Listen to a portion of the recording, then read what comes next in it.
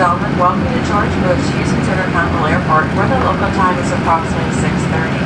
We will be taxiing for the next few minutes.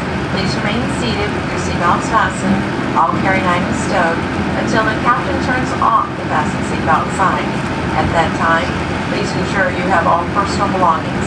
Take care of the overhead bins where your contents may have shifted during the flight.